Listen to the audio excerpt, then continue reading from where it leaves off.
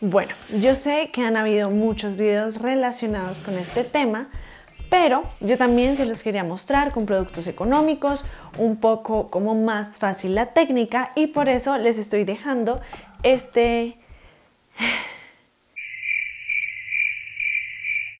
este cosito, no sé cómo se dice.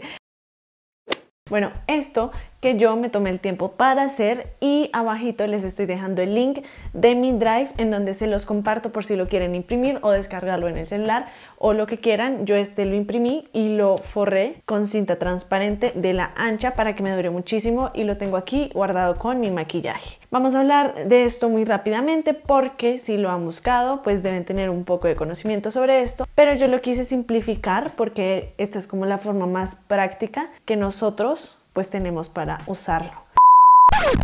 Hay una mosca.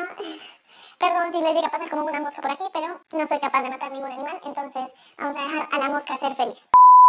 Si tenemos rojeces, las cancelamos con tonos verdes. Si tenemos tonos verdes, los cancelamos con tonos rojos y así sucesivamente, naranja y azul y morado con amarillo. Y yo les voy a mostrar las cosas que tengo para corregir estos tonos. Compré esta paleta hace ya un tiempo y viene con dos de los colores principales, un tono amarillento como este y uno más anaranjado como este. Ven que está súper usada, pero es porque en serio me gustó muchísimo esta paleta. La, la compré para un video en donde me maquillo con menos de 50 mil pesos. Y este corrector, que es de la marca Vogue, lo compré para este video, no tenía ningún corrector verde. Ustedes pueden utilizar los que tengan de la gama, si es alta o baja o bueno, la gama que a ustedes les guste. Vamos a empezar a explicar bien esto. Si quieren pueden aplicar antes de todo el maquillaje algún tipo de primer. Yo voy a estar aplicando este que es Time Bomb de The Bomb. Si quieren ver la reseña y todo lo que pienso, pueden ir a ver el video que les estoy dejando aquí arribita y lo aplico en las zonas donde tengo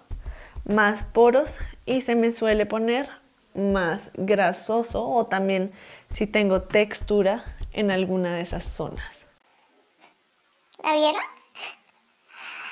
Entonces, lo primero y lo más básico que tenemos que hacer es reconocer en dónde hay colores que nos hacen ver la piel no tan uniforme. Personalmente, y creo que eso no se alcanza a ver mucho en cámara, yo esta parte después de la cirugía, antes no la tenía tan así, pero se me ha ido disminuyendo con el tiempo, se me puso muy rojita. También en las cicatrices que me quedaron, mi cicatrización suele ser muy, muy fea. En, en, en, entonces en estas cicatrices que me quedaron del corte de las alas nasales también se me ve rojito y en general como estas venitas de acá. Mi piel nunca suele ser muy roja, yo no tengo aquí rojito, nunca me ruboreo naturalmente, entonces no tengo la necesidad de cancelar aquí rojeces. Pero digamos, si tú tienes algún tipo de granito o que aquí tienes manchitas rojas, porque hay mucha gente que tiene manchitas rojas, te las cubres con el verde. Yo voy a aplicar directamente de la barrita porque este corrector es para mí, para mi cara, pero si tú vas a maquillar a más personas o tu trabajo es maquillar a otras personas, por higiene lo que te recomiendo es que utilices una brochita así de lengua de gato para tomar el producto y aplicar en el rostro. Lo voy a aplicar aquí y aquí también en las alitas. Aquí me acabé de rasguñar porque me quité una cosita que tenía, entonces vamos a poner un poco aquí. Aquí tengo una rojez de una espinilla que me salió hace un tiempo y me la quité. Y eso sería todo por el verde. Recuerden, es muy importante que identifiquen qué zonas son las que necesitan esta corrección. No es todo el rostro, no es cualquier rosáceo que tengan, sino algo que realmente quieran cancelar. Ahora vamos a ver qué color tienen nuestras ojeras. Usualmente pueden ser o verdes o moradas o azules. No es literalmente este morado, literalmente este azul, sino que tengan un subtono. Entonces para eso tenemos que tener un muy buen ojo para saber identificar. Yo lo que hago es estirarme un poquito porque no se me nota tanto el color y me estiro un poquitico la piel e identifico que es morada y un poquito roja. Yo lo que prefiero es utilizar un tono amarillo, pero para propósitos del video vamos a aplicar también un poquitico de verde. Tomamos el amarillo.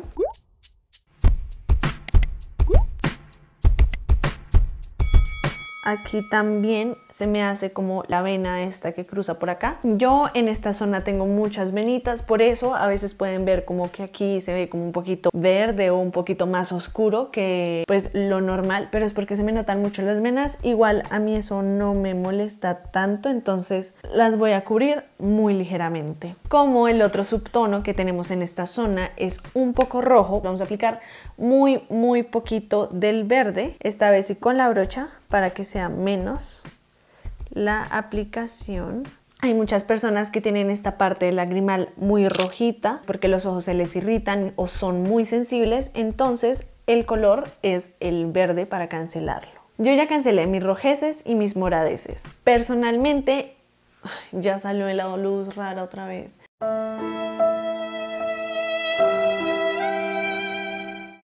Personalmente no tengo como tonos azulitos, pero si tienes algún tipo de azulez en el rostro, la cancelas con un naranja. Esta paleta viene con el naranja que sería este y pues solamente lo aplicas con brocha o con el dedito como tú prefieras. Humedecemos la esponjita o con lo que a ti te guste difuminar y vamos a empezar a difuminarlo a toquecitos intentando dispersar el color pero no quitar la cobertura que ya tiene. ¿Para qué queremos esto? Puede parecer como tips muy extra porque, a ver, es más fácil aplicarse una base, un corrector y chao. Pero este tipo de técnicas nos permiten tener un lienzo, o sea, un rostro más limpio. Es decir, no tener que aplicar mucha base o una base que tenga muchísima cobertura. Con esto podemos cancelar de una vez los colores y después unificar todo el tono o con corrector o con base, que ya vamos a ver bien cómo sería ese proceso. Y así ya cancelamos todos los tonos que no nos gustan de la piel. Yo siento que así es innecesario aplicar un corrector si te vas a aplicar base.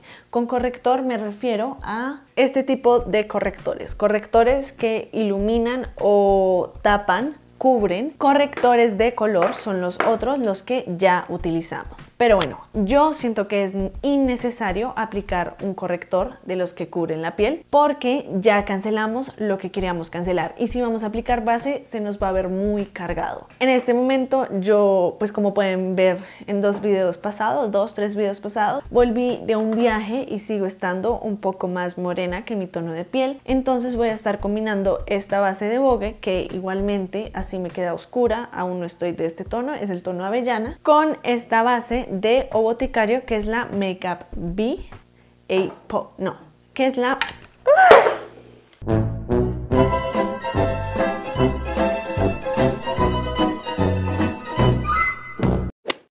esta base de Boticario que es la Air Power Make B. Las voy a estar aplicando muy ligeramente con una mano muy muy suave y recuerden que casi todos los productos que yo les muestro ya están reseñados en el canal. Entonces la voy a aplicar aquí. A mí me gusta mucho aplicarla con brocha y después difuminarla. Y un tip es que si no tiene ningún tipo de imperfección en esta zona, empiecen aplicando del centro del rostro hacia afuera. Ya lo que nos sobre de la base, bueno, de productos, los llevamos hacia el resto de la cara. Recuerden todos los looks de ojos que yo haga y que vean en el canal van a estar en mi Instagram.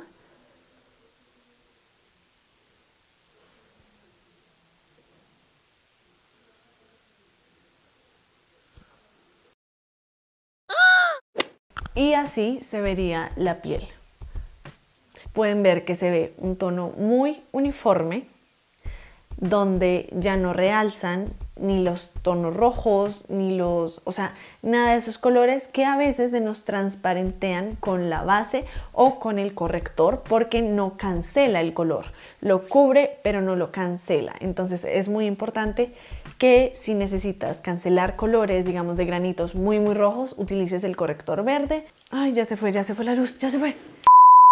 Después de esto, que ya tienes tu lienzo completamente limpio, puedes empezar a contornear, iluminar y demás, darle como mayor dimensión a tu rostro. Y pues si quieres un video de esto más detalladamente, déjamelo en los comentarios que para mí será un gran gusto hacerlo. Pero este video se va a tratar solamente de la corrección de color. Si te gustó no olvides dejar tu like y suscribirte en un botoncito rojo igual a este. Entonces, si no es más, adiós.